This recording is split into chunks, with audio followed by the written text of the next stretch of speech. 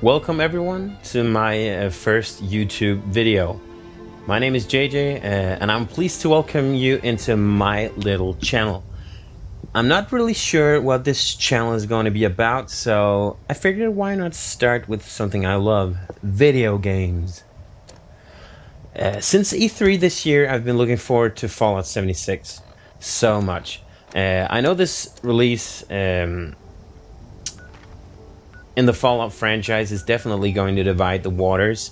Uh, therefore, I would like to tell you guys my first impressions of the game and how I felt when I played the first couple of hours.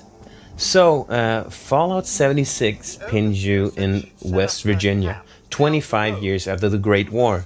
You wake up uh, after what seems to have been a big party. You walk through the vault uh, and feel uh, the celebratory atmosphere and glee that must have filled uh, the common room. Uh, then you walk past a lot of posters, robots, and such, and then you pick up some of the necessities you need to survive the reclamation of the new world that waits beyond the Vault 76's door. After that, you emerge in a not so climatic way as you've done in previous Fallout games, but you still get the feeling that this wasteland is a massive entity lurking with dangers, stories, and last but not least, mutants. Uh, the setting is really beautiful though, um, if you have the hardware to render it, so to speak, or at least if you know how to fix the settings files and so on. But I'll get on with that later on in the video. So uh, your first mission is to locate the Vault Overseer. She has been leaving clues all around the first area of the map, and uh, you keep on finding clues to her whereabouts at the next waypoint. Uh, this keeps on going for the first hour or so, and then uh, more and more missions start popping up on your heads up display. Uh, soon you're almost overwhelmed with things to do uh, that you're finding it difficult to choose actually. Uh, nevertheless, I kept uh, on track uh, with the first story missions, uh, and it brought me to the first town in the game. A town with no survivors, of course, except the at least 12 other vault dwellers roaming around talking, talking in their native tongue. Uh, I was actually kind of frustrated about this, kind of annoyed me. You get the feeling that these guys have just left their microphone on and they keep on yelling, they keep on talking with whoever's at the other end or whoever's in the room with them, and it's just kind of annoying to listen to. Uh, but never mind. Uh, I did the missions and almost immediately discovered one of the first flaws in Fallout 76 the missing NPCs.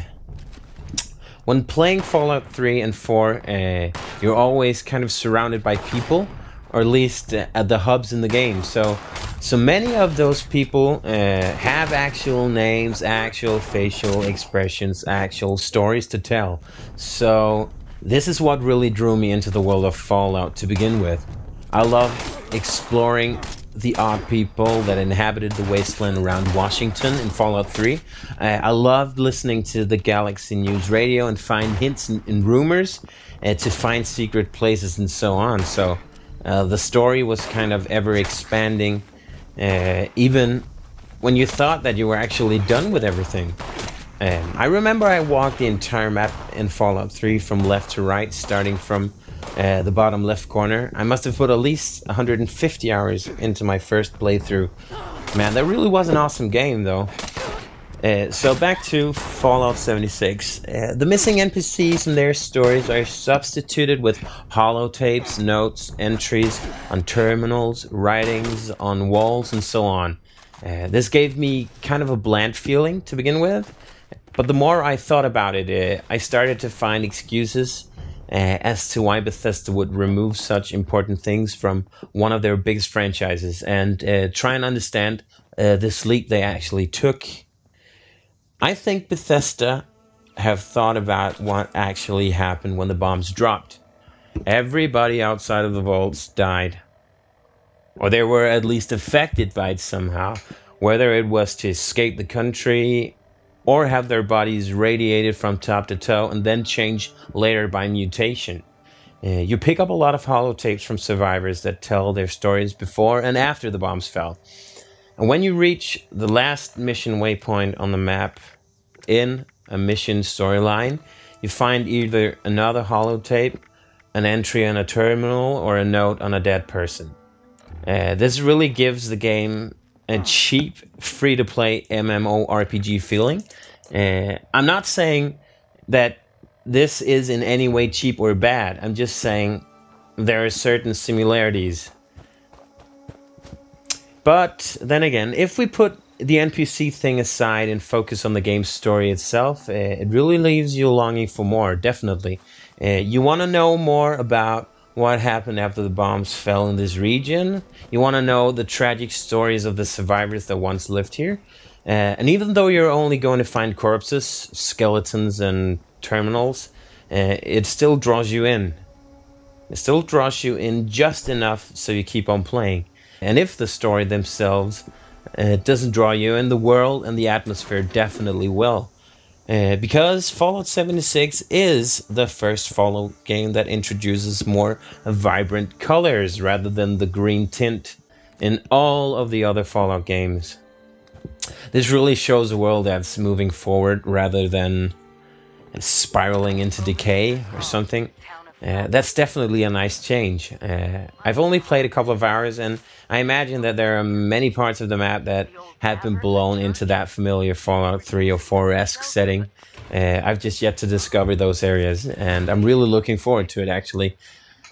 So, um, how's the game performing in the beta? And I know a beta is not the actual release, but they only have about 14 days to fix whatever's wrong with the game. So uh, I can't really see that they're actually going to fix a lot of those things. But the thing that annoys me the most, or at least the short answer to how the game's performing in the beta, is horrible. Or at least so it was to begin with. As you can see, uh, the textures, uh, the frame rate, and everything is is absolutely dreadful. Uh, and my system couldn't push more than what felt at least like 25 to 35 frames a second. And I and, I, and if I was in a dense uh, area with a lot of foliage and buildings, the frame rate fell even lower than that. So. Uh, I didn't really want to play the game at first uh, then, but I kept on playing to immerse myself in the universe, uh, as I've done uh, so many times before.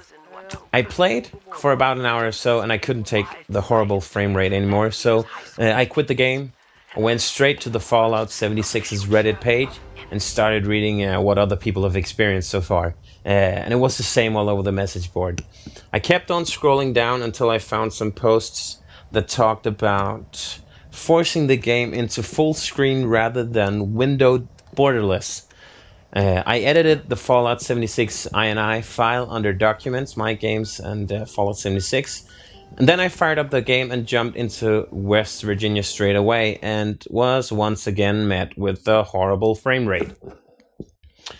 Uh, albeit I lowered the game settings to low settings.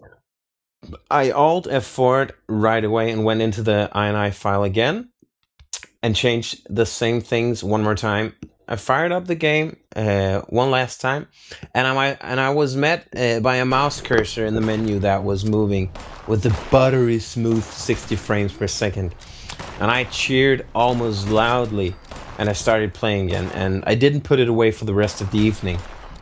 I was successful, and I was a happy camper. Yeehaw! So I kept on playing. I tried uh, a lot of the different things that Fallout 76 has to offer. Uh, I tried the public events. Um, those are very similar to the public events that you find in other games such as Destiny 2, although they are quite uh, longer than those in Destiny 2. I think uh, I must have spent around at least 20 or 25 minutes in the first public event I played. Uh, that was that was pretty long, actually, pretty long time. And then I went for the next missions to find the overseer. I explored just like I've done in all of the other Fallout games, and now I really just can't wait for the next open window in this uh, beta. I just don't hope the game deletes itself one more time as it did the 30th of October.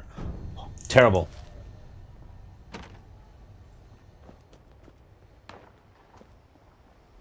So that's about it guys for my first video here on YouTube about Fallout 76. So thanks for watching. Uh, remember to press that like button and subscribe if you want to hear me rambling about other games.